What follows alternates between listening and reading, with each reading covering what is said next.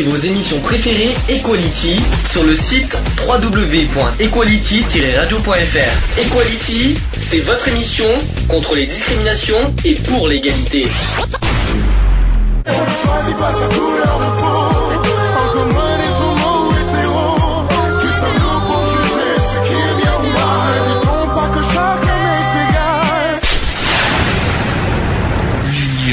Fait la force.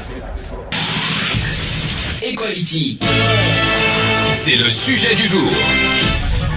Même le sujet du jour était au ralenti, dis donc. bon, sujet du jour, on va parler de la ferritine et de l'hémochromatose. Est-ce que c'est des sujets qui vous parlent? Tu disais? Ya, ya, ya good.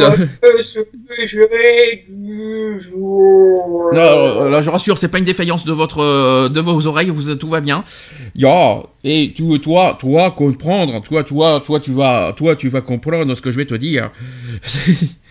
c'est la fête. C'est un russe, euh, un, un paysan russe? Tu sais ce qu'il te dit le paysan Non, mais oh, je rêve. Bon, sujet du jour, euh, soyons sérieux. Ferritine et hémochromatose, est-ce que ça, ce- de ces mots vous parlent? Non, pas du tout. Qu'est-ce que la ferritine d'abord? C'est quand on a un trop de fer? C'est presque ça. C'est soit l'un, soit l'autre, de toute façon. C'est quand il y a un trop ou, ou pas un assez. manque. ouais. Alors, la ferritine, c'est une substance composée d'une protéine associée à du fer.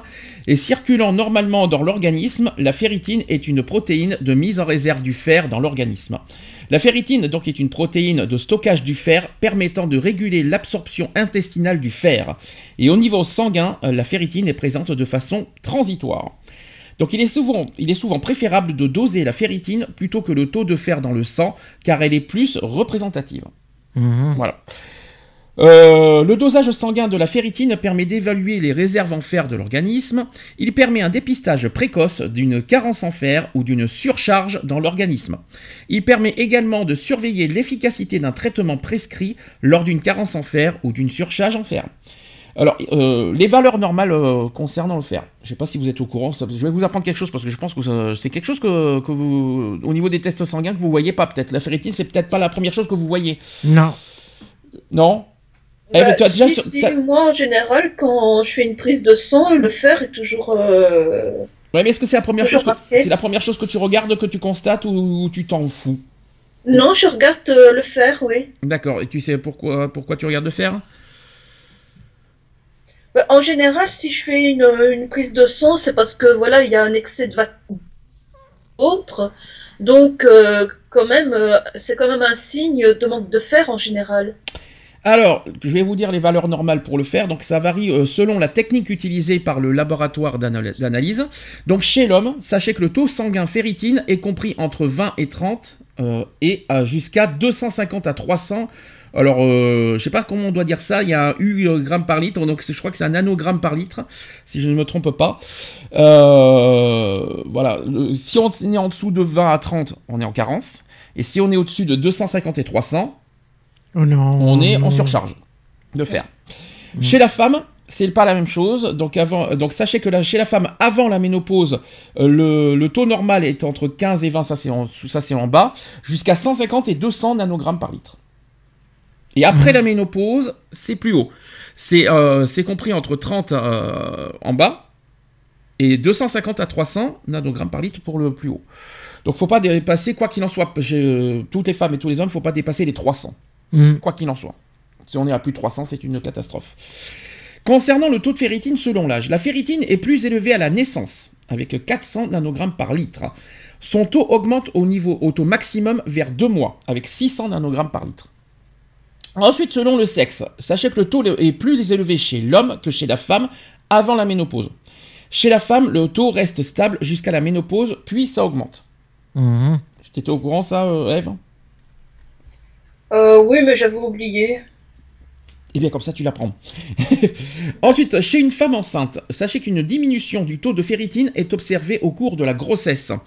Attention toutefois, parce que les résultats d'une prise de sang ne sont jamais suffisants à eux seuls pour poser un diagnostic. Et ceci, quel que soit le dosage effectué.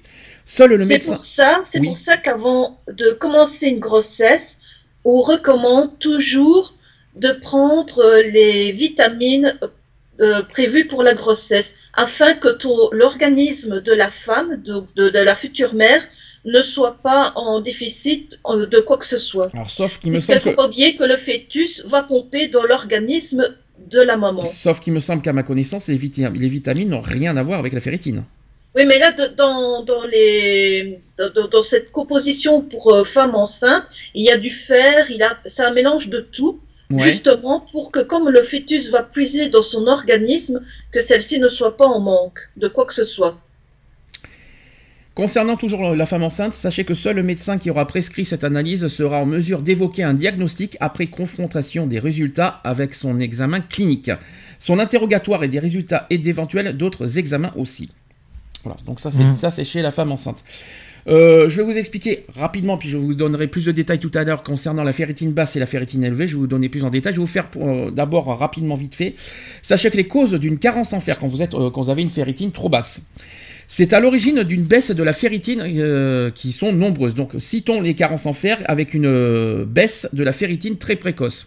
Avant l'installation de l'anémie, donc la grossesse aussi, période nécessitant des besoins supplémentaires en ferritine, les règles abondantes, la malabsorption intestinale et ainsi que des apports alimentaires insuffisants d'aliments contenant du fer. Est-ce que vous savez quels sont les aliments qui contiennent du fer? Les Les haricots verts. lentilles. Les lentilles.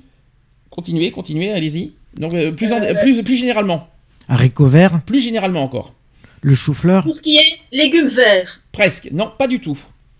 Alors ça, c'est ça, c'est ça, c'est une rumeur, mais pas du tout. C'est pas les légumes verts, c'est des légumes, mais pas verts. Euh, les- comme les lentilles. C'est des légumes secs. Légumes Voilà. secs. Ah ouais. Voilà, c'est ça. En fait, la, la- la fer- le fer, c'est surtout sur les légumes secs. Les épinards. Est-ce qu'un épinard Non, est un légume sec Ça, c'était une mauvaise transcription d'une secrétaire qui s'est trompée, elle a, elle a mal placé la virgule. Par exemple. Alors, vous, les, vous, les vous trouverez aussi euh, du fer dans le poisson, Mhm. dans la volaille et dans de la viande, tout simplement. Ainsi que Et les les légumes secs. céréales. Les céréales aussi, c'est c'est très, très riche en fer. Ah oui, bien sûr, les fibres, tout, euh, tout Mhm. ça, bien sûr. D'ailleurs, c'est marqué euh, sur, euh, sur les céréales. C'est vrai, exact. Alors, les anémies euh, hémolytiques chroniques aussi, les hémorragies euh, gynécologiques, les dons de sang fréquents, donc tout ça, euh, voilà, c'est, quand on a des, des causes, ça, ce sont les causes de, de carence en fer. Euh, Il y a aussi les, ex- les exercices physiques intenses qui peuvent euh, nous faire perdre du fer Mhm. énormément. Il y a les hémorragies d'autres organes aussi qui nous font perdre énormément de fer. Donc les hémorragies de toutes sortes, les dons du sang, ça aussi évidemment, comme je vous ai dit. Il y a, il y a la dialyse aussi qui fait perdre du sang. Ouais. Donc Mhm. tout, tout ce que je vous dis, tout ce que je vous ai cité, ce sont les causes d'une carence en fer. Mhm. Voilà. Donc les anémies, les hémorragies, les dons de sang, les exercices physiques intenses, ça c'est moi. Les hémorragies d'autres organes et la dialyse. Ainsi que bien sûr les problèmes de malabsorption intestinale. Par contre, la ferritine élevée, si on fait dans l'autre sens, est-ce que vous savez pour, euh, euh, est-ce que ça peut, euh, quelles sont les, les causes? La jaunisse? Ouais. Alors les jaunisses, les jaunisses, pas vraiment non. J'en sais rien du tout, moi. Alors la ferritine élevée s'observe euh, dans les conditions suivantes lors d'une hépatite. Mhm. Lors d'hémopathie. Alors l'hémopathie, c'est la leucémie. La leucémie, vous savez ce que c'est? Mhm. C'est quoi la leucémie? Bah, Le cancer, cancer. du sang. C'est le cancer du sang, la leucémie. Exactement. Vous avez aussi euh, l'hémopathie dans le sens maladie de Hodgkin. Ça, je ne connais pas par contre. Vous avez euh, aussi, euh, pour des raisons de syndrome infectieux et inflammatoire, donc euh, la ferritine élevée peut être euh, due à ça. Euh, aussi due à des tumeurs hépatiques, notamment au niveau du foie. Mhm. Eh oui, quand vous avez des grosseurs de foie, pas bon non plus. Euh, vous avez des euh, lors des tumeurs du rein, du sein, du poumon et du pancréas aussi. Mhm. Voilà, tout ça peut, peut, augmenter la ferritine. Et aussi lors d'anémie euh, hémolytique, d'anémie, euh, excusez-moi parce que c'est pas évident, euh, c'est pas évident à chaque fois de parler de santé, d'anémie sidéroblastique et de thalassémie. Moi, je ne connais pas ces termes, mais Moi en, non tout cas, plus. en tout cas, voilà. Alors Alors, non plus, je connais pas ces termes. alors, est-ce que vous savez comment on peut améliorer son taux de fer? Ah, ça c'est une bonne question. Alors, par exemple, lorsqu'on souffre d'une carence en fer, est-ce que vous connaissez une certaine solution Hmm, non. Notamment, alors je vais pas, on va parler alimentaire. Bah, de manger de la viande. Alors, il faut consommer de la viande rouge. Oui. Rou- J'ai bien dit rouge. Très important de le dire. Oui, Il comme faut- le bœuf, le canard. Voilà. Il faut aussi consommer des abats, comme le foie. Mhm. Voilà, le Mais foie. ça, il n'y a pas beaucoup de personnes qui aiment. hein. Et pourtant, c'est délicieux quand vous faites à côté avec une petite salade verte. Vous allez voir, c'est très Euh, délicieux. avec des petits oignons. Mmh. Si on mange du gésier, par exemple, euh, c'est parfait. Mhm. C'est parfait. Euh, mangez du gésier avec, euh, avec, euh, avec une petite salade verte, vous allez voir comme c'est délicieux. Le foie, ça Oui. dépend. Ça dépend comment tu. C'est sûr que si tu manges du foie tout seul, euh, berque quoi. Par contre, si tu fais des petits morceaux de foie que tu fais avec euh, ta petite salade, je peux vous, je peux vous jurer, moi je l'ai déjà fait, c'est très délicieux. Mhm. Ah ouais, c'est super bon. Les abats en général, euh, les rognons. Qui c'est qui mange des rognons? Bah, Un rognon, moi je mangeais, moi j'en mangeais, j'en ai mangé et, et c'est pas mauvais. Mais bon, après il faut apprécier. Alors ensuite, pour les végétariens ou les âmes sensibles, est-ce que vous savez qu'est-ce qu'il faut leur, leur, euh, leur... Poisson, Alors, qu'est-ce qu'on peut leur recommander? Du Pour les végétariens, j'ai dit. Les- Donc Les forcément. végétariens, donc tout ce que, comme tu as dit, euh, légumes, euh, les légumes secs, là, euh, déjà. Alors, les fruits secs. Mhm. Les raisins secs, par exemple. Ouais. Du persil. Persil, alors bien sûr frais, pas du persil en, en- en boîte, Oui. du, per- du, frais- du persil frais. Il y a aussi des, haricots blancs. Mhm. Euh, Par contre, qui c'est qui mange des haricots blancs? Ah, Après, bon. Ah oui, mais après, euh, c'est pas quelque chose qu'on y pense, les haricots blancs, hein, donc euh, voilà. Et par contre, là aussi, c'est surprenant, le vin. Ah bon? Eh bien oui, ça, apparemment, Oui. c'est- préconisé. Mais c'est- un verre par jour. Oui, très, c'est bien, elle veut le dire, très important. C'est pas parce que le vin est préconisé qu'il faut euh, en boire des, En abuser. en abuser. Très bien, très bien Un dit. verre par jour, déjà, c'est très bon aussi pour protéger des maladies cardiovasculaires. Et autre chose qui est autre chose, et par contre, c'est là qu'il faut par rapport à la rumeur qu'on entend, les épinards, eh bien, il y en a, il y a pas tant de fer que ça. C'est marqué, c'est indiqué. Il y en a, mais il y en a pas énormément. Ouais, mais ça en contient. Ça en contient, mais c'est pas c'est pas celui qu'il faut euh, qu'il faut penser en premier. C'est Mhm. ça qu'il faut se dire. Ouais. Si vous pensez fer, ne pensez pas tout de suite épinard. Ça c'est Popeye euh, qui nous a fait euh, le- avec le fer. Non, la première chose qu'il faut penser, c'est vraiment les légumes secs, le persil, les fruits secs, le vin. Le vin, non, faut pas y penser en premier. Le, les abats, les viandes rouges. euh, voilà, ça Mhm. c'est vraiment la première chose à penser. Patience aussi, il faut compter au moins un ou deux mois d'une alimentation riche en fer avant que les réserves ne remontent sensiblement. Ça, c'est en cas de carence, je tiens à le rappeler. Mhm. Euh, c'est, euh, faut attendre quand même deux mois euh, pour, pour que ça remonte. Euh, pour les carences plus importantes, il existe des médicaments qui apportent le complément de fer nécessaire. Mhm. Donc pour ceux qui ne savaient pas, pour ceux qui l'apprennent, je tiens aussi à le dire. Maintenant, en- à l'inverse, pour ceux qui ont des excès de fer. Donc il faut généralement pratiquer, d'après vous, quoi? Alors ça, c'est quelque chose qu'on va en parler tout à Faire l'heure avec... du sport, comme tu as dit. Alors oui non, non justement parce que oui aussi, oui exactement, il faut, faut en pratiquer. Mais par contre, il y a, il y a une pratique euh, médicale qu'on va en parler tout à l'heure avec l'hémochromatose. La façon. dialyse? Non, c'est pas la C'est dialyse. le vélo? Non, c'est pas. Alors je parle. Alors c'est pas une activité physique, euh, c'est pas une activité sportive, c'est une, c'est quelque chose de médical. C'est un prélèvement de sang. Ah ouais? Ah est-ce bon. que vous savez, est-ce que, est-ce que vous connaissez par exemple les saignées?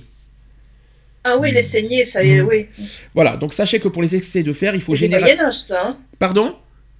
C'était bon au Moyen-Âge. Non, non, ça existe encore, je te rassure, euh, je, je te rassure, ça existe toujours.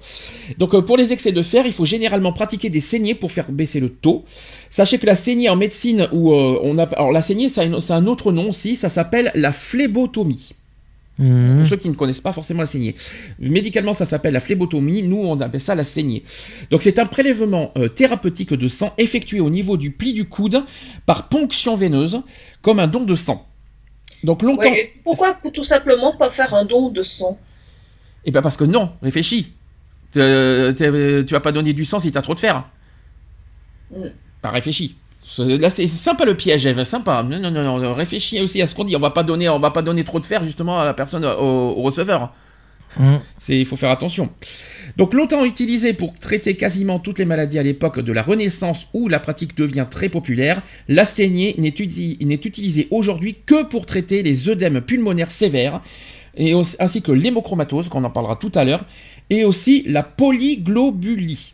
La polyglobulie, globulie, c'est les- pour moi c'est les globules euh, blancs ou rouges, hein, euh, donc ça veut dire qu'il y a trop de globules peut-être. La saignée sert à diminuer en fait le volume globutaire et ainsi que le- l'excès du fer dans le sang. Voilà à Mhm. quoi sert la saignée. Ça vous... Non Ça vous, Ouais. savez que n'importe qui peut être concerné, ce que je vous dis. Attention, parce que ça, Ah, bah ça oui, peut- bien sûr. Parce que hein. euh, avec l'âge, euh, la, la ferritine, euh, ça peut, ça peut concerner, euh, concerner n'importe qui. Je vous donnerai les chiffres tout à l'heure, de toute façon. Avec, faut pas forcément avec l'âge, tu sais, on, on peut être susceptible de tomber malade à n'importe quel moment de notre vie. Mhm. Euh, euh, voilà, on peut être tous concernés par la maladie. Et ça, peu importe l'âge, parce que souvent, je- je- j'entends dire oui, mais avec l'âge, bah, regarde, moi, ma fille, euh, elle a des problèmes de fer euh, depuis qu'elle est toute petite. Elle est née avec euh, quand même une grave maladie, donc voilà. Alors ça tombe bien qu'on me dise ça, parce que est-ce que vous connaissez les signes révélateurs d'une carence en fer? Quels sont les signes qu'on peut détecter lorsqu'on a une carence en fer? Une fatigue anormale. Alors, il y a, il y a la Fatigue anormale. Je précise, effectivement, il y a la fatigue. Alors, je vais expliquer. D'abord, il y a, il y a le teint pâle. Donc, si votre teint rose naturel est soudain pâli et blanchi, vous pourriez souffrir d'une carence en fer. Donc, la raison en est que le fer favorise la production d'hémoglobine, la source de votre éclat rose et lumineux. Tout simplement. Ensuite, vous avez en deuxième signe les lèvres et les gencives blanches. Oui. Mhm. Donc il est souvent difficile de déterminer le manque de rose sur vos joues si votre teint de peau est naturellement pâle. Et pour déterminer une carence en fer, regardez à l'intérieur de vos lèvres et de vos gencives. Si elles manquent de rouge, votre corps pourrait être en manque précieux de fer. Mhm. Troisième signe, c'est la fatigue, comme a dit Eve. L'épuisement est le signe le plus évident d'un manque de réserve de fer. Vous pouvez ressentir une faible immunité ou penser que vous manquez de sommeil. Quand- mais quand votre corps est, est déficient en fer, il manque également d'oxygène et d'énergie vitale. Et cela peut entraîner des sauts d'humeur, de la faiblesse et des difficultés à se concentrer sur des tâches simples. Mhm. Tout simplement. Mais de toute façon, moi, par exemple, ma fille, quand elle me dit qu'elle n'est pas bien et que je la vois toute palote, euh, je suis sûre qu'elle a un direct manque de fer. Ça peut pas, ça, c'est pas, ça veut pas dire que forcément c'est le fer. Euh, Euh, non, mais bon, quand même qu'elle a ça depuis toute petite, donc voilà, je, je- j'ai la- on a l'habitude.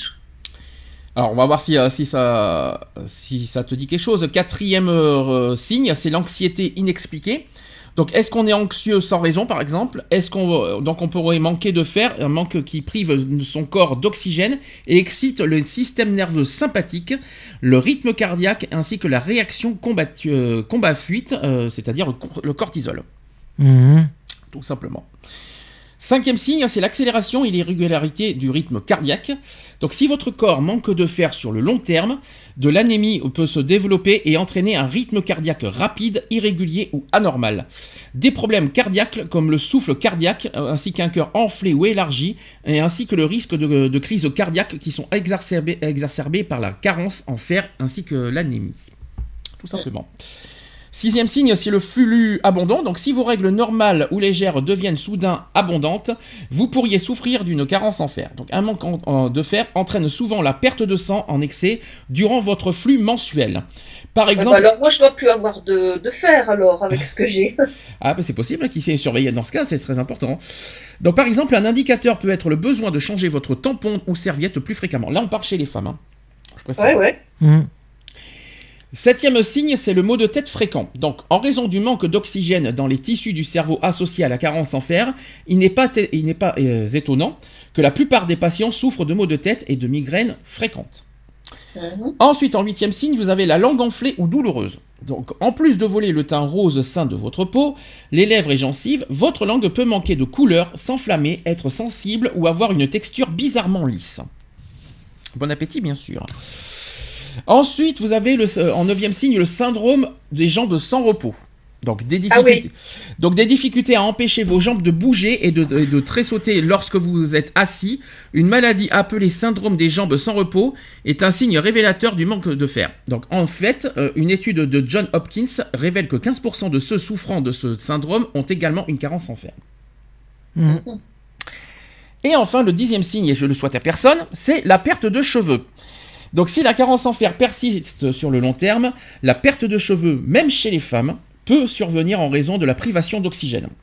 Des niveaux sains d'oxygène sont nécessaires pour maintenir une croissance normale des cheveux et des ongles. Tout à fait.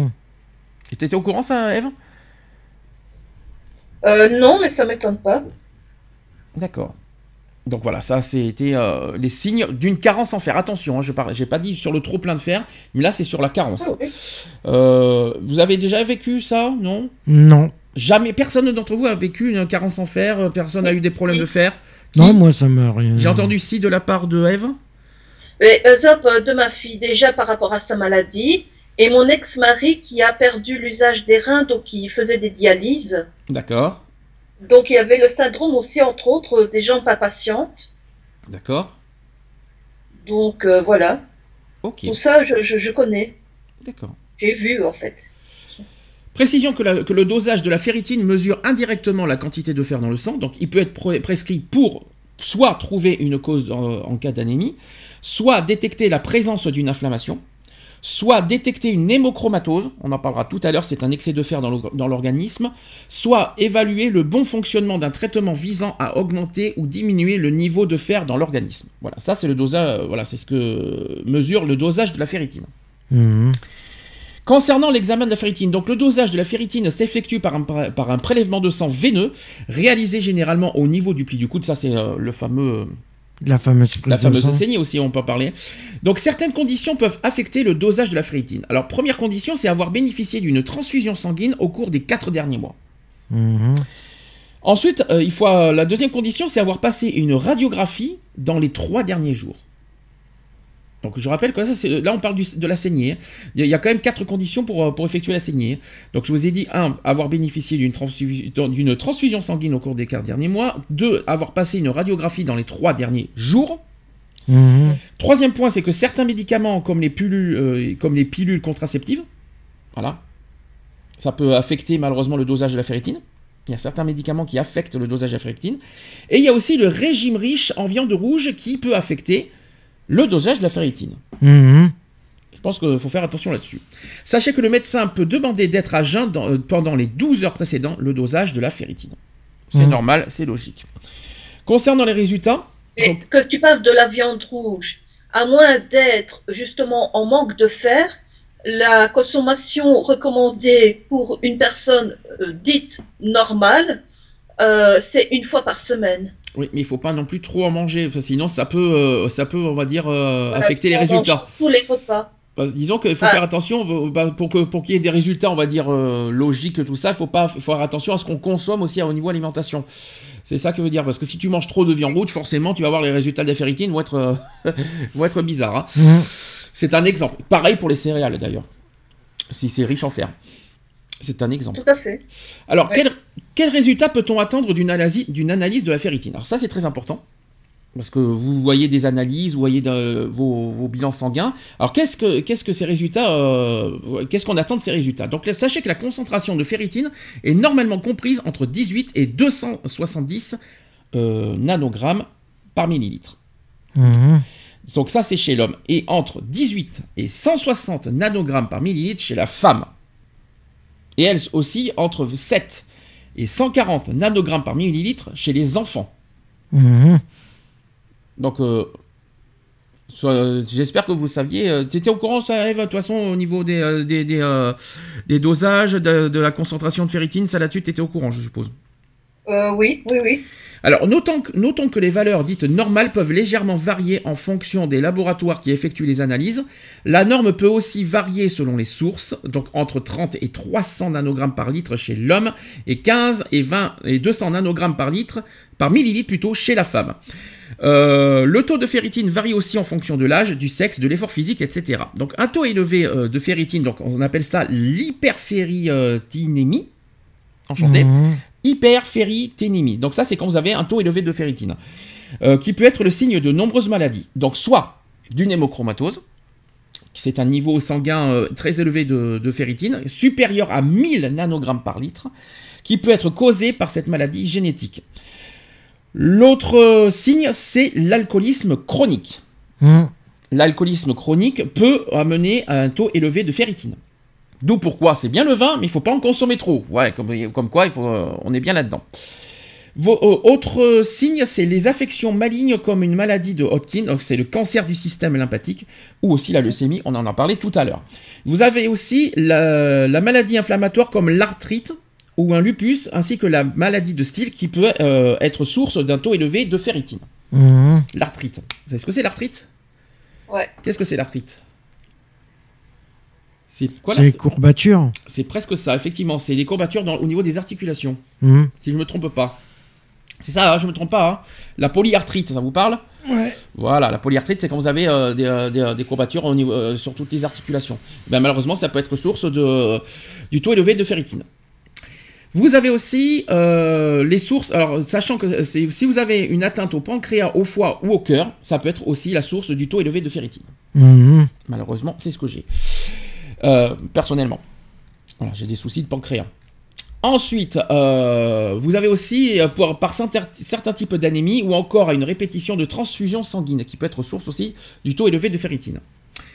Donc, au contraire, par contre, si, vous si on parle d'un niveau faible de ferritine, on parle d'hypoferritinémie, tout simplement. Hypo, hyper, c'est logique. hein Mhm. dans la circulation sanguine. Alors, soit vous avez une perte de sang importante, notamment lors de menstruations abondantes, soit une grossesse, tout simplement, soit un manque de fer provenant de l'alimentation, soit des saignements dans le tractus intestinal, c'est-à-dire des ulcères, un cancer de- du côlon ou même des hémorroïdes. Tout ça, ça peut être source d'une carence en fer. Mhm.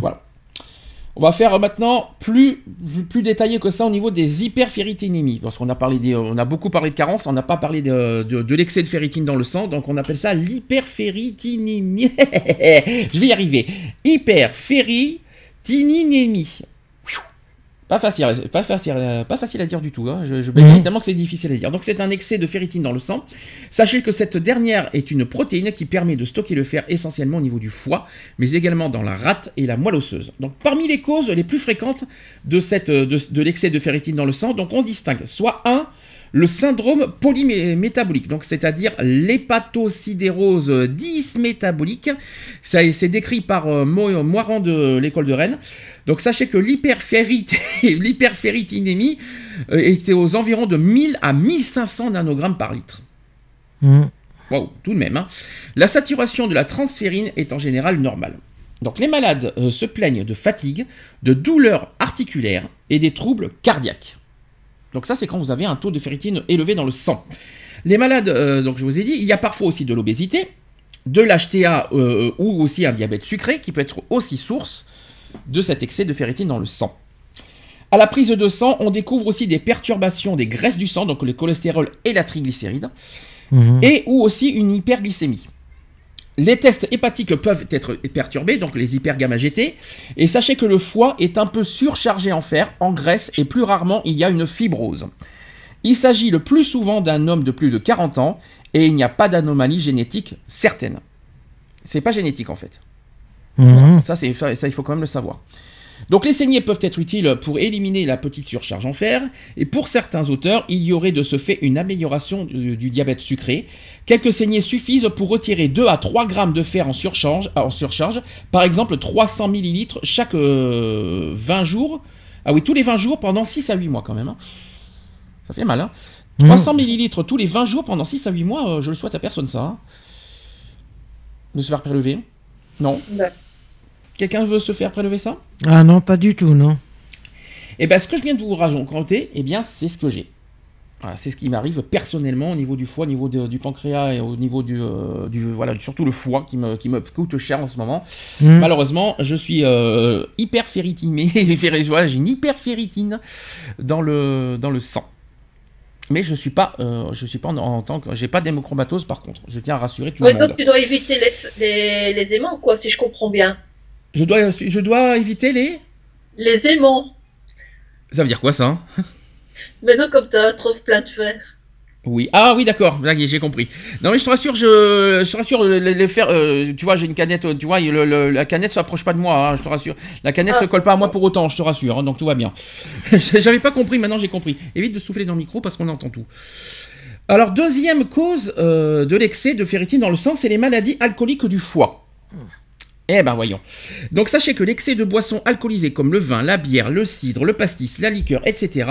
provoque un gros foie de stéatose, donc c'est-à-dire chargé en graisse, nettement visible à l'échographie. donc parallèlement, l'alcool provoque l'augmentation du cholestérol, des triglycérides, des transaminases, en particulier azate ou, SGOT, c'est-à-dire SGOT. Sachez que l'hyperferritinémie euh, est modérée entre 1000 à 1200 nanogrammes par millilitre. Si l'intoxication s'arrête, tout rentre dans l'ordre. Et si elle se poursuit, il apparaît une fibrose du foie. Ça veut dire que le foie devient plus petit et dur. Mhm. Puis une cirrhose avec des complications. C'est quoi une cirrhose du foie? C'est à cause de l'alcool. La- La cirrhose, on a, ça, ça aboutit Pas limite au cancer. Ça peut être aussi à cause de médicaments. Et la cirrhose, ça aboutit au cancer, je tiens à le rappeler. hein. Donc euh, la cirrhose avec ses complications, donc l'acide, les hémorragies, les troubles nerveux, etc. Sachez que le problème de l'hyperféritinémie devient secondaire et la gravité est due à l'atteinte du foie. Donc les saignées sont contre-indiquées car ces malades sont souvent anémiques au stade de fibrose et de cirrhose. Mhm. Voilà. Troisième source de- d'excès de fer dans le sang, c'est l'hépatite chronique, c'est-à-dire l'hépatite C. Mhm. Sachez que 600 000 individus en France sont sources de ce, voilà, sont euh, visés et concernés. Donc cette hépatite chronique C peut s'accompagner d'une hyperféritinémie modérée entre 1000 et 1500 nano- nanogrammes par litre. Le pronostic dépend de l'agression du virus de l'hépatite C et des saignées peuvent être faites dans certains cas car certains médecins pensent que le traitement est plus efficace. Mhm. Voilà. Autre cas, c'est les hyperféritinémies accompagnent. Donc ça, c'est le quatrième cas. C'est les, hyper- qui accompagnent certains cancers, malheureusement que ce soit digestif ou autre, des infections ou des inflammations chroniques, en particulier intestinales, des traitements médicamenteux comme les corticoïdes, ainsi que la nutrition euh, artificielle, euh, ainsi que l'hyperfonction de la thyroïde, des intoxications par des toxiques industriels, des traumatismes musculaires, c'est-à-dire l'écrasement des membres. Et sachez que l'hyperféritinémie euh, n'est pas ici en rapport avec une surcharge en fer et ne doit pas être traitée par des saignées. Mhm. Vous voyez, c'est du cas par cas, ça n'a rien à voir. hein.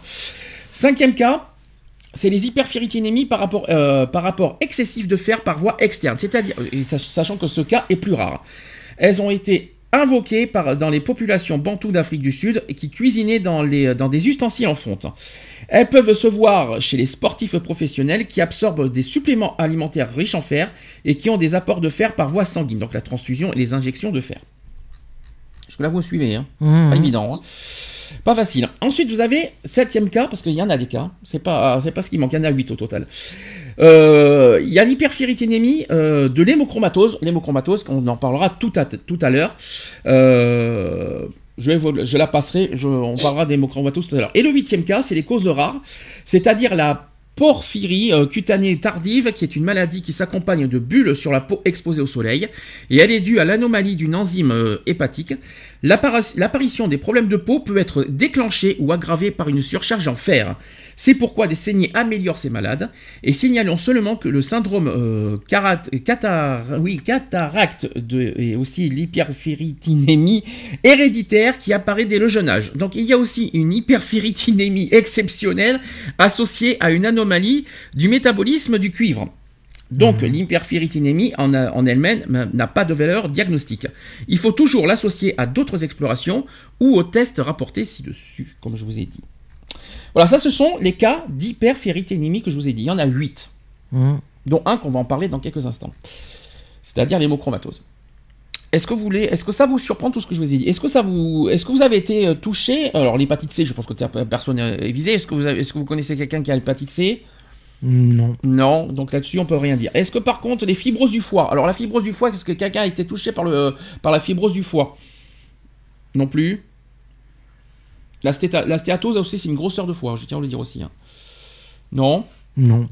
Non, là-dessus, moi oui. La stéatose du foie, je l'ai. Et pour dire que c'est pas c'est pas c'est pas le c'est pas le pied, hein, je vous le dis clairement. c'est pas c'est pas facile. Quelque chose à rajouter? Non. C'est surtout sur- sur- sur- ne m'aidez surtout pas, je suis vachement aidé en fait.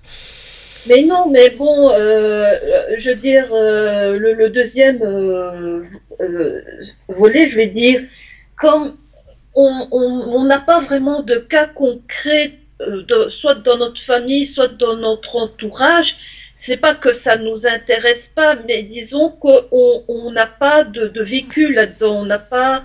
Tu comprends ce que je veux dire? Maintenant, c'est très intéressant ce que tu dis.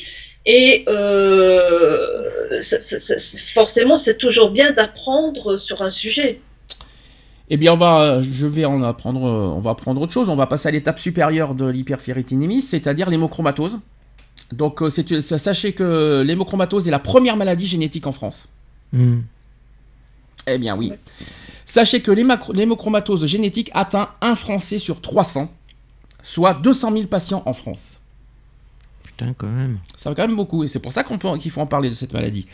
Sachez que cette maladie, due à une absorption excessive du fer alimentaire, est bénigne, et elle est reconnue euh, à 20-35 ans quand même, à partir de 20 ans jusqu'à 35 ans, mais souvent grave et parfois mortelle si elle est reconnue euh, à partir de 50 ans, euh, à partir de l'âge de 50 ans. Ça peut être Mhm. mortel, l'hémochromatose. hein. Ça par contre, Ouais. vous ne saviez pas. Non. Eh ben, Ça, maintenant, je vous- savais eh pas. ben, maintenant, vous le savez. Sachez que l'hémochromatose est une maladie génétique qui entraîne une accumulation de fer en trop grande quan- quantité dans l'organisme et certains organes en particulier. Donc sachez que le cœur, le foie, la peau et le pancréas sont les principaux organes touchés. Le fer est utilisé par l'organisme selon ses besoins, l'excédent est éliminé naturellement, et dans le cadre de l'hémochromatose, une anomalie génétique va engendrer un message paradoxal de manque de fer, ce qui va favoriser son absorption digestive. Pour qu'un individu développe la maladie, il faut que les deux parents soient porteurs du gène défectueux, Mhm. qui va causer la maladie d'ailleurs. Donc le gène est alors transmis. D'autres pathologies peuvent également être responsables d'un excès de fer dans l'organisme, comme des maladies hématologiques et des maladies hépatiques comme la cirrhose à un stade évolué. Là, par contre, je vous apprends quelque chose. hein. Concernant l'hémochromatose classique, parce qu'il y a plusieurs hémochromatoses, il y a plusieurs euh, catégories. Donc l'hémochromatose classique, sachez qu'on parle d'hémochromatose génétique, qui, est parfois appelée hémochromatose classique, et donc c'est la maladie héréditaire la plus fréquente qui affecte surtout les individus d'E- d'Europe du Nord.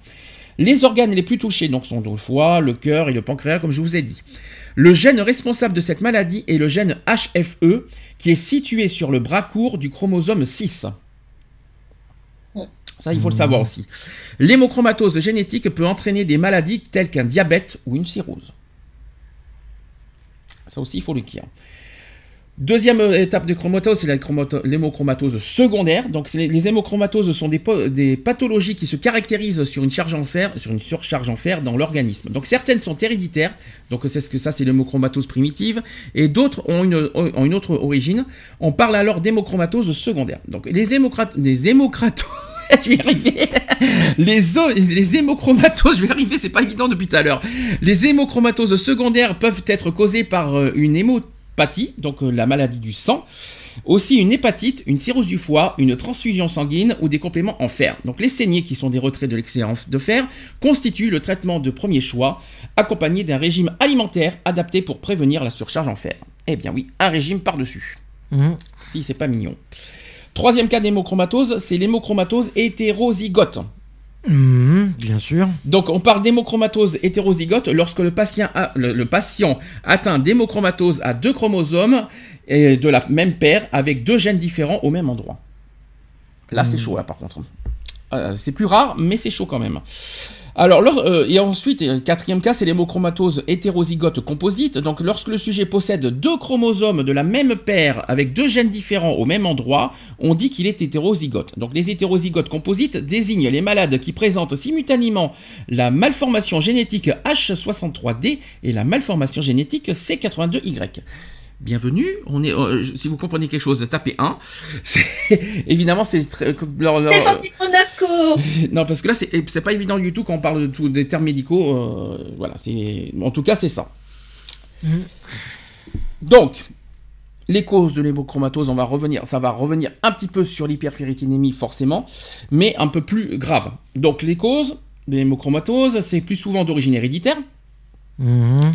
La maladie se développe chez une personne dont les deux parents sont porteurs du gène différent, déficient plutôt, euh, du gène déficient. Les surcharges en fer acquises, plus fréquemment appelées hémosidérose, sont provoquées par des causes plus identifiées. Donc des transfusions répétées peuvent augmenter la quantité de fer dans l'organisme en dehors d'une augmentation des pertes en fer. La consommation excessive d'aliments riches en fer peut exceptionnellement être mise en cause. La, thalas- la thalassémie, euh, qui rend les globules rouges plus fragiles, provoquant leur destruction, donc une destruction rapide des globules rouges à l'origine de la libération de fer pouvant provoquer une surcharge en fer. Voilà ce que c'est que la thalassémie qu'on a parlé tout à l'heure. Mhm. Eh bien voilà, au moins vous savez ce que ça veut dire. Donc cette, euh, cette anomalie des globules rouges provoque le plus souvent une anémie nécessitant des transfusions aggravant de la surcharge en fer. Les anomalies des globules rouges peuvent également être provoquées volontairement oui, ou même involontairement par des produits chimiques ou des médicaments. Jusque-là, vous suivez, hein, c'est pas évident. L'anémie hémolytique rend les globules rouges plus fragiles, entraînant leur destruction. La moelle osseuse peut ne pas apporter suffisamment des globules rouges. Donc il peut également se produire que le fer apporté ne puisse pénétrer dans les globules rouges en cours de formation. La, porphyrie cutanée tardive provoquée par un déficit d'une enzyme de, l'hémoglobine provoque une, surcharge en fer à l'origine d'une hémochromatose. La porphyrie cutanée tardive entraîne la formation de bulles sur les parties exposées à la lumière, comme les mains, le dos et le visage. Mmh. Ça me fait peur quand même, quand j'ai réfléchi. Euh, ça, ça, vous, ça, vous, ça vous parle pas, ça? Non, pas du tout. Alors certaines pathologies peuvent entraîner une augmentation de la, surcharge en fer. Donc le syndrome métabolique, encore appelé syndrome de la bédaine, provoquant une surcharge pondérale, un diabète, une anomalie des triglycérides et du cholestérol qui peut provoquer une surcharge en fer. Forcément, on retrouve un petit peu ce qu'on a dit tout à l'heure avec l'hyperferritinémie, c'est normal. Il y a les maladies du foie, chroniques du foie, euh, tout simplement, euh, comme la cirrhose, euh, l'hépatite chronique comme l'hépatite C, la maladie alcoolique, bien sûr, qui sont souvent associé à des surcharges en fer. Il y a aussi la consommation importante d'alcool qui peut entraîner une surcharge en fer et malheureusement aussi une mmh. il faut le rappeler. Donc ça, évidemment, c'est un petit peu répétitif, mais c'est normal, c'est pas la même, c'est pas l'hémochromatose et c'est encore autre chose. Donc les symptômes de l'hémochromatose. Le malade ne présente habituellement aucun symptôme pendant plusieurs années. L'accumulation du fer au sein de l'organisme est progressive. Les signes cliniques sont variés et dépendent des atteintes euh, des organes. Donc peuvent. Et, il n'a rien au niveau des ongles? Des quoi? Des ongles, t'as dit? Oui, il n'y a pas une, coloration au niveau de l'ongle? Euh, Pour l'instant, je vois pas marquer les ongles. Je sais qu'il y a eu des problèmes avec. Je sais que j'ai entendu. Non, mais ça, je crois que tu confonds avec la carence, peut-être. Non, non, je sais bien. moi, je me souviens, euh, entre autres, d'un épisode du Docteur House. Mhm. Euh, la personne avait un excès comme ça de, de fer, justement dû à, un empoisonnement euh, avec une, les, tuyauteries, les, anciennes tuyauteries euh, en fer, et elle avait une coloration au niveau de l'ongle. Ah, c'est possible, mais moi je vois pas ça, donc euh, je, vais te, je vais te dire les symptômes, après tu vas me dire ce que tu en penses. Donc les signes cliniques sont variés et dépendent des atteintes des organes. Donc peuvent ainsi apparaître une fatigue, une teinte bronzée de la peau, une hépatomégalie, une hépatomégalie donc ça c'est l'augmentation du volume du foie, pouvant évoluer vers la cirrhose, il faut quand même le rappeler. Il y a aussi des troubles du rythme cardiaque. Il y a aussi des œdèmes localisés au niveau des chevilles. il y a aussi des douleurs articulaires et bien sûr le diabète. Voilà, ça, le, ça ce sont les symptômes. Donc tu vois, il n'y a pas l'ongle. Ça, me surprend que tu me parles de l'ongle d'ailleurs. Donc. Euh, ouais, moi je me souviens de ça, de, de cette. Euh, Alors, enfin, bref. Alors maintenant, on va parler du dépistage familial, parce que là, on en a parlé. Je rappelle que la ferritine, euh, l'hyperferritinie, c'est pas euh, génétique, tandis que l'hémochromatose, oui. Donc, comment on peut dépister dans un terme familial? Donc, sachez qu'un dépistage génétique de l'hémochromatose est important car il permet un diagnostic plus précoce de la maladie. Sachez que l'hémochromatose étant une maladie génétique fréquente, aux conséquences parfois sévères. Ce dépistage est fondamental car il permet également de mettre en route plus précocement, si nécessaire, le traitement efficace de l'hémochromatose. Sachez que les parents, les frères et sœurs et les enfants, les parents du premier degré d'une personne atteinte d'hémochromatose génétique sont concernés par ce dépistage. Ça, c'est très important de le dire. Une proportion non négligeable, environ donc une personne sur quatre chez les frères et sœurs, peut être touchée par cette maladie. Mmh. Eh bien oui, mais ça, il faut le dire. Le dépistage précoce est important car il permet d'amorcer le traitement avant que les organes ne soient endommagés. La personne atteinte de l'hémochromatose prévient sa famille de l'intérêt d'effectuer ce test de dépistage. Un consentement écrit est obligatoire et qui est demandé au patient. Le résultat lui est communiqué lors d'une consultation génétique. Ensuite, il y aura un bilan martial, dosa avec dosage sanguin du coefficient de saturation de la transférine et de la, et de la ferritinémie par exemple, qui est proposé lorsque le test génétique est positif afin d'évaluer le stade de la maladie, tout simplement. Voilà comment ça marche sur un dépistage familial. Très important parce que dès qu'on entend parler d'hémochromatose, il faut tout de suite, même que ce soit frère, soeur, tout ce que vous voulez, il faut tout de suite faire un dépistage, voilà, pour tout de suite euh, euh, bah, cibler l'hémochromatose, on va dire. Mmh. Ouais, c'est très important. C'est très très très très très important. Il, fallait, il faut quand même le souligner. Et bien sûr, et surtout, ceux qui sont atteints d'hémochromatose, surtout prévenir sa famille, ses membres de famille, les enfants, les frères et sœurs, etc. Toujours signaler. Voilà, ça c'est très important. Concernant le test génétique, donc c'est conseillé lorsqu'une anomalie du bilan de fer est constatée comme l'augmentation et de la saturation euh, de la transférine, normalement inférieure, à 50% chez l'homme et 45% chez la femme, et lors d'un dépistage familial de l'hémochromatose. Dans le cas du dépistage familial, les tests génétiques permettent alors diagnostiquer l'hémochromatose au stade asymptomatique. Un test sanguin permettant de déceler le gène de l'hémochromatose et de mettre en évidence la mutation responsable. Dans plus de 95% des situations d'hémochromatose typiques, sachez que deux mutations principales gènes de l'hémochromatose sont constatées. Il y a les mutations C 282Y ou alors C282Y avec le H63D. Donc les tests génétiques permettent un dépistage au stade asymptomatique. Malheureusement, ce test n'est pas remboursé par la caisse d'assurance maladie. Mmh. Sachez... pourquoi il est, il est onéreux ou? Ah, c'est une bonne question, mais en tout cas, c'est pas remboursé par la Sécu. Il faut, quand même, faut quand même que je le souligne. Et les tests génétiques sont soumis à une réglementation spécifique avec un consentement écrit obligatoire qui est demandé au patient, et ainsi que le résultat qui est communiqué au patient lors d'une consultation génétique. Mmh. Pas évident. Pas évident du tout. Est-ce que vous voulez rajouter quelque chose? Non. Donc les résultats des tests de l'hémochromatose, donc on parle d'absence d'une mutation, donc aucune mutation n'est retrouvée sur aucun chromosome, soit avec une mutation, euh, soit, euh, soit on parle de mutation C2, C282Y hétérozygote, donc ça veut dire que la mutation C282Y hétérozygote, hétérozygote est présente sur un seul chromosome et n'expose pas à une surcharge en fer. C'est la mmh. première bonne nouvelle. Ensuite, euh, l'autre résultat du test, si on parle de mutation C282Y homozygote, c'est que la, mutation C282Y homozygote est présente sur les deux chromosomes et par contre expose à une surcharge en fer. Mhm. Ça, c'est ce qu'il faut lire sur les résultats des tests.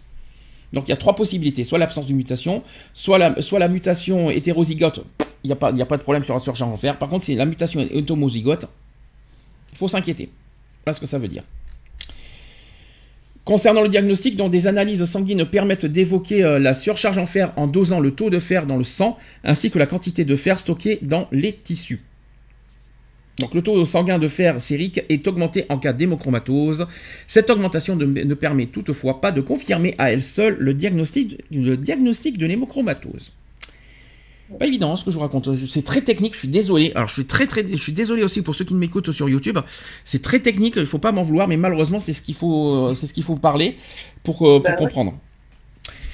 Alors, concernant le coefficient de saturation de la transférine, donc le test le plus évocateur de l'hémochromatose génétique, c'est l'augmentation de la saturation de la transférine, qui est une protéine qui se combine au fer et le transporte vers les organes. Mhm. Le coefficient de saturation en fer de la transférine est augmenté au cours de l'hémochromatose. Une augmentation au-dessus de 45% nécessite un nouveau dosage sanguin. Si celui-ci est toujours supérieur à 45%, il faut rechercher une hémochromatose génétique. Mhm. Très important à le souligner sur cette histoire. Concernant le taux de ferritine sérique, donc la ferritine, qui est une protéine permettant de stocker le fer dans la rate, la moelle osseuse et le foie, donc elle permet ainsi la mise en réserve du, réserve, euh, du, la mise en réserve du fer dans l'organisme. La ferritine sérique est augmentée en, cas d'hémochromatose. La ferritine augmente en cas de surcharge en fer et elle peut cependant également être élevée avec un stock de fer normal. Ainsi, une augmentation de la ferritine ne traduit pas systématiquement une surcharge en fer, une surcharge en fer ne témoigne pas systématiquement d'une hémochromatose génétique. C'est dit, ça c'est fait. Alors concernant les complications, alors ça c'est dit, ça c'est très important à souligner. Qu'est-ce que l'hémochromatose peut avoir Quelles sont les conséquences de l'hémochromatose alors, sachez que l'accumulation de fer sans le muscle cardiaque peut provoquer des troubles du rythme cardiaque et une insuffisance et une insuffisance cardiaque. Mhm. Déjà un, et ça il faut le, ça il faut le dire. La deuxième chose, c'est que ça, donne une hyperpigmentation de la peau. Sachez qu'une une pigmentation plus importante de la peau survient chez 90% des personnes atteintes d'hémochromatose, lui donnant une couleur gris métallisée caractéristique de la présence de fer sur la peau ou plus bronzée. Une dépilation euh, aussi ou la perte de, de poils accompagne fréquemment l'hyperpigmentation. Mhm. Ça, c'est très important. Autre complication, c'est sur le diabète sucré. Donc l'apparition d'un diabète sucré survient chez les deux tiers des patients en raison de la présence de fer dans le pancréas. Très important de le dire. Ensuite, il y a l'augmentation du volume du, du volume du foie. Sachez que euh, l'hépatomégalie est présente chez plus de 95% des personnes atteintes d'hémochromatose. L'apparition d'une cirrhose ou d'un euh, euh, d'un carcinome hépatique peut être observée. Autre complication suite à une hémochromatose, c'est l'augmentation de volume de la rate. Sachez qu'une augmentation du volume de la rate, encore appelée plénomégalie, est souvent constatée en cas d'hémochromatose. Concernant les articulations, donc une atteinte des articulations touchant essentiellement au, au début de l'évolution de la maladie, les mains et- ainsi que les deuxième et troisième articulations mé- métacarpo-phalangiennes sont fréquemment observées. C'est ce que tu voulais dire, je pense, Eve. Euh, Je pense pas que ça concerne les, euh, les ongles, mais ça concerne par contre les articulations des, euh, des phalanges. Ah ouais. Voilà, c'est tout à fait. Et ainsi que les mains. Donc euh, il y a problème d'articulation aussi, Mhm. au niveau des mains. Mais ça, par contre, par contre, ça touche pas les ongles. Parce que moi, je me souvenais de, que cette femme-là, en fait, elle mettait tout le temps du vernis. Mhm. Et c'est bien sûr euh, euh, à ce moment-là qu'à un certain moment, que ah, ou ça une, une illumination, il enlève le vernis et il voit le- le- l'ongle coloré. Mhm. Je comprends. Et enfin, autre problème, dernier problème, c'est que ça peut avoir aussi des troubles euh, sur les fonctions sexuelles. Sachez que les dépôts de fer dans l'hypophyse peuvent provoquer de- une dysfonction sexuelle, ainsi qu'une baisse de la libido, ainsi qu'une irrégularité des cycles menstruels chez les femmes.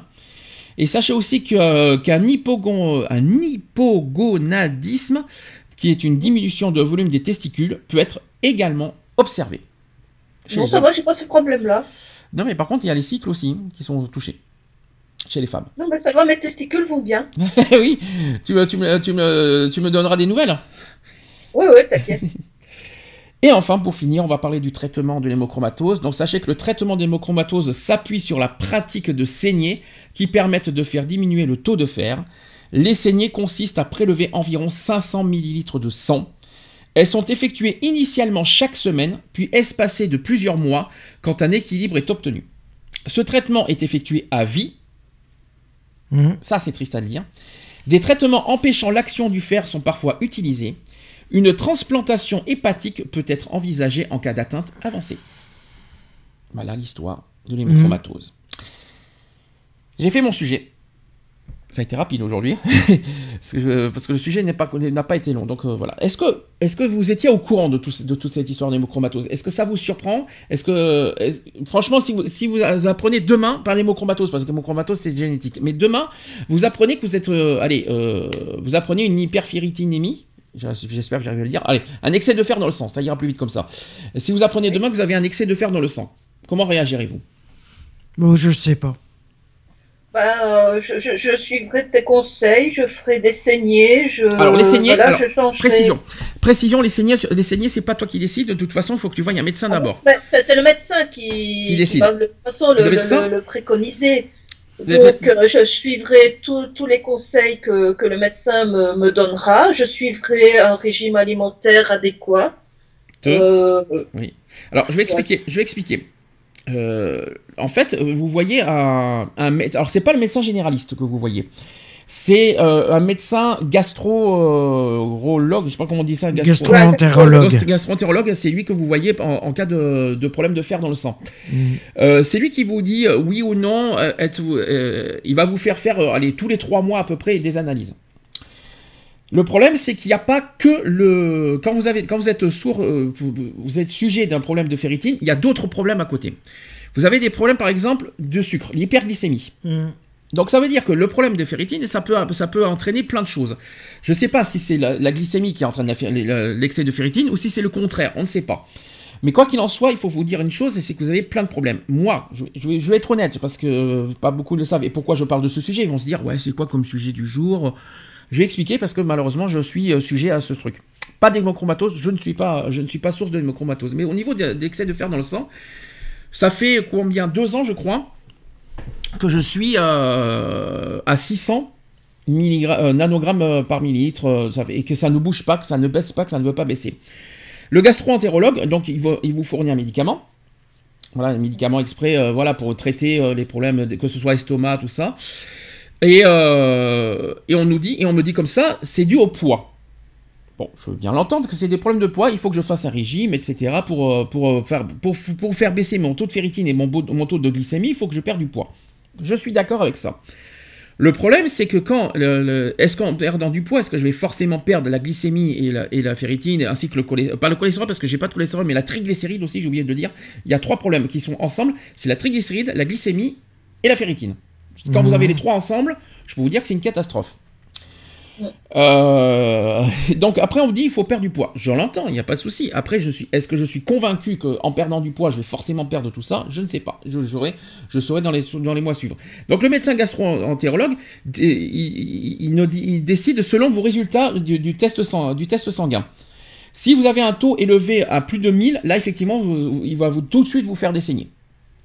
Si vous avez un taux inférieur à 1000, il va vous dire attention euh, à l'alimentation. Il faut faire attention à ce que vous mangez. Mm. Donc ça veut dire que si vous, euh, si vous avez un trop de fer, il faut pas manger trop ce qui est justement trop manger tout ce qui est source de fer. Les légumes secs, etc. Il faut pas en manger, euh, faut pas en manger beaucoup. Euh, D'accord? Mm. Oui, ouais. Donc jusque là ça va. Après, euh, comment, euh, comment vous pouvez avoir une, une alimentation saine? Parce qu'à côté, vous avez les problèmes de sucre, vous avez des problèmes de fer et vous avez des problèmes de, de, de triglycérides. Ça veut dire glycémie. C'est- une diététicienne, je dirais. mais oui, mais justement, j'en ai vu, hein, j'en ai vu plusieurs, je te cache pas. Alors le problème est là. T'as le problème de glycémie, c'est le sucre. T'as des problèmes de ferritine, c'est le fer. T'as des problèmes de, de triglycérides, c'est la graisse. Alors comment tu veux manger si tu peux pas avoir les trois?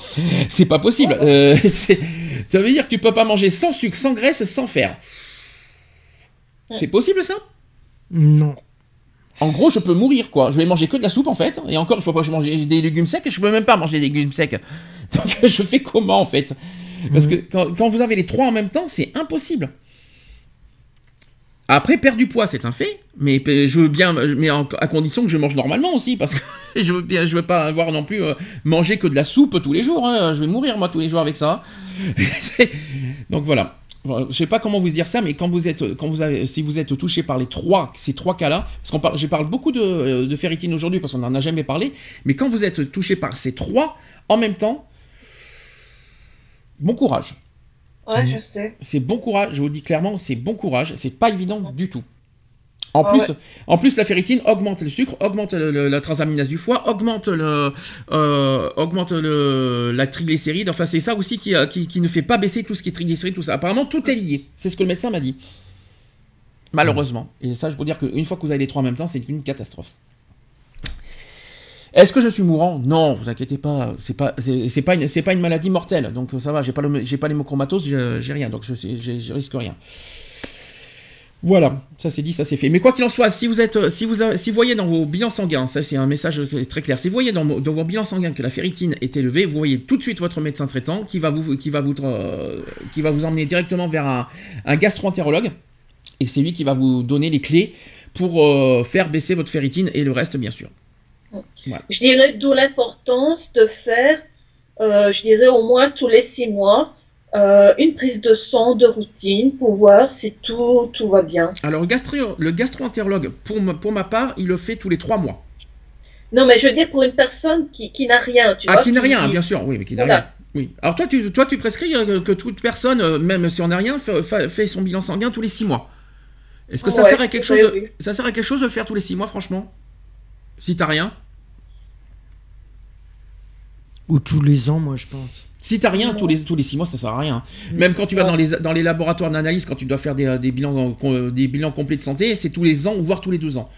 Donc, euh, voilà. Par contre, quand... Euh, oui C'est- non, c'est peut-être parce que c'est moi qui, qui, qui, qui, qui réfère ça par rapport à, à mes mammographies, en fait. Ah oui, mais ça n'a rien à voir. Ah oui, mammographies tous, tous les six mois, euh, pour moi, c'est tous les six mois. Alors Voilà. là, là c'est différent parce que là tu parles chez une femme peut-être, peut-être pas forcément pour tous, peut-être chez une femme peut-être plus, ouais, effectivement, un peu de plus se surveiller effectivement son, son, son, euh, bah, son sang quoi, où on en est, où on a, c'est dépistage du sang, etc. Voilà. Non, on est d'accord, c'est plus chez les femmes, tu veux dire? Non, mais, non, non, non, c'est moi qui, voilà, c'est parce que comme euh, je suis, je suis, je veux dire, euh, euh, entre guillemets habitué à faire une mammographie tous les six mois, ben pour moi tous les six mois c'est voilà renouvellement. Ça me semblait logique de faire ça tous les six mois en fait. Mais c'est vrai Alex, il a raison. En faisant ça au moins une fois par an, c'est déjà pas mal. Alors, je rassure autre chose, parce que moi qui suis bien, bien, bien concerné là-dessus, c'est pas parce que vous avez trop de fer que vous allez devenir gris automatiquement. Mm. Non, ça c'est ça c'est quand il y a trop trop trop de fer dans le sang que vous risquez d'être gris. Mais quand c'est mm. quand vous avez une petite surcharge en fer, vous n'allez pas devenir gris. Je rassure tout le monde là-dessus. Après, il y a des symptômes euh, voilà qui sont vraiment euh, effectivement euh, qui qui, qui, qui, on le voit aussi hein, de toute façon tous les troubles que je vous ai que je vous ai cités, eh ben faut voilà dès que vous avez dès que vous ressentez ce genre-là, allez-y voir tout de suite voir votre médecin et faites tout de suite des analyses sanguines parce que sinon car on ne sait jamais, on ne sait pas, euh, on sait pas ce que c'est. Tout à fait, ne rien ne, pas euh, laisser partir ça à la dérive, on va dire. Par exemple. Retrouvez nos vidéos et nos podcasts sur www.equality-podcast.fr.